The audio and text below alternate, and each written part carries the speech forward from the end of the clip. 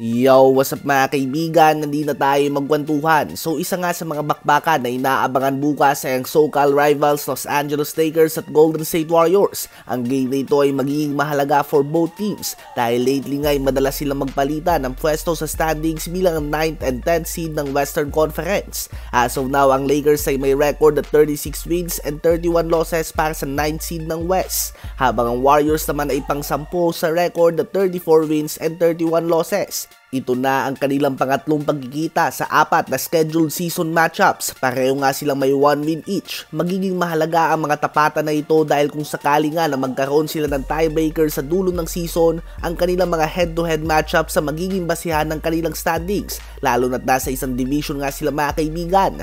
Sa game na ito ay listed as questionable si Stephen Curry at Draymond Green para sa Warriors. Ngunit inaasahan nga na makakapaglaro sila. At ganun din nga sa LeBron James at Anthony Davis.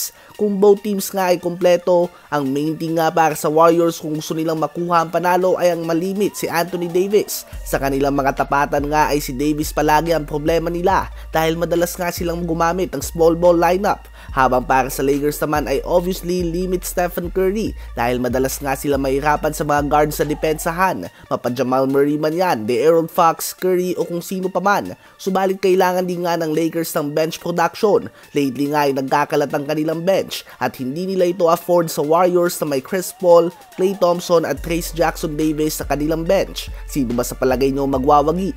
Habang tumungo naman tayo kay Giannis Antetokounmpo, ayon nga sa iba ay tila ba nag-peak na nga daw si Giannis at hindi na ito nag-i-improve. Isa pa din nga daw ito sa mga pinakamagaling sa NBA ngunit hindi na ito nag-i-improve tulad noon. Ngunit totoo nga ba ito o masyado lang natin siya na take for granted dahil masyado siyang consistent at nagiging normal na ang kanyang pinapakita? pinapakita Si Giannis nga may apat ngayon na magkakasunod na 30-point games. In fact, naitablan niya ang most 30-point games niya sa isang season kahapon na magtala siya ng 32 points, 11 rebounds, and 7 assists on 9 of 12 shooting sa field. Ito na nga ang kanyang 39 30-point game ngayong season at meron pa siyang 15 games upang dagdagan ito.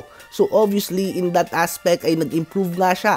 Halos pareho pa din ang kanyang rebounds. From 5.7 assists per game last season ay nagtatala na din siya ngayon ng career high 6.4 assists per game. Mas mataas din ang kanyang blocks and steals at mas mababa naman ang kanyang fouls at turnovers. Ngunit ang nakakamangha dito ay from shooting 55% sa field last season, inangat niya pa nga ito sa 61.6% ngayong taon. So mas efficient pa nga siya ngayon at ibig sabihin din ito ay mas nagiging matalino siya sa pagpili ng kanyang mga tira.